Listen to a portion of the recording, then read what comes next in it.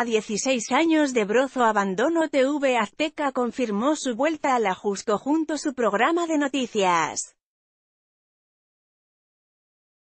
Foto tomada de la web El actor y conductor de televisión, Víctor Trujillo, anunció su regreso a la TV pero en esta ocasión no regresará a Televisa sino a TV Azteca.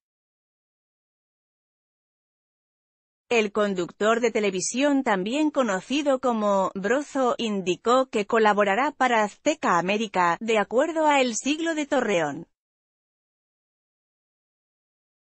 Recordemos que Víctor Trujillo cuenta con 16 años de trayectoria. Shakira y Maluma se vuelven tendencia en redes, lanzan, clandestino, en su tuit, el payaso tenebroso, se dirigió a los cibernautas de EU para informarles que su programa será transmitido a partir de este lunes 11 de junio a las 11 de la noche.